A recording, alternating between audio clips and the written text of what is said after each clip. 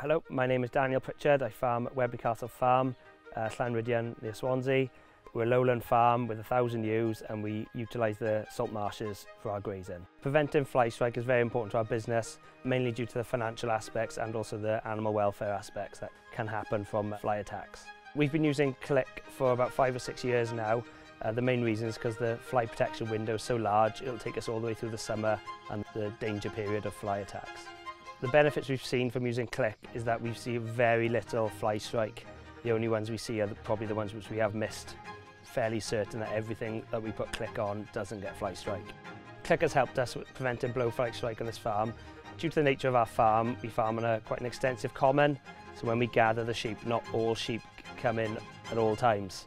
So we believe if we use Click at the start of the season when everything's in, it'll cover us for the whole of summer so we won't have any danger of losing sheep through flies. The last couple of years we've used CLiK Extra because of its 19 week protection window we start putting it on in beginning of May and that'll see us all the way through the summer towards and into the winter.